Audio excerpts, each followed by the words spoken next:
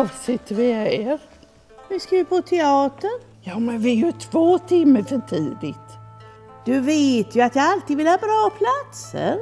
Om vi så kommer två minuter före så har vi våra platser för det är numrerat. Det kan du inte vara säker på om vi kommer för sent.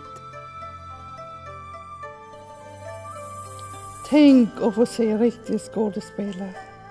Mm. Som Claes Malmberg, Ja, Rickard Wolff ja, och Görel Kron. ja.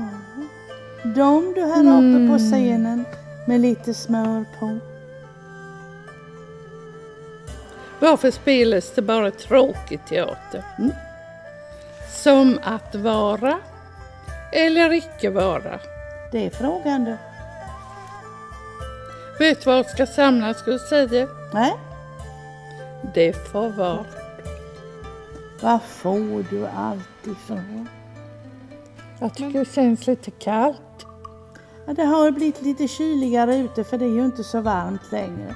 Och därför tycker jag att det är så gott att sitta kvar här inne i den goda värmen.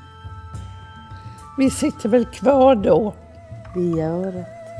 Oskarshamns teaterförening ger nu i höst 2017 Fordringsägaren 20 september, Sara Leander 5 oktober, Maken den 26 oktober, Drömflickan 23 november. Biljetter finns på Forum, telefonnummer 0491 158 00 eller på www.oskarshamn.com. Välkomna!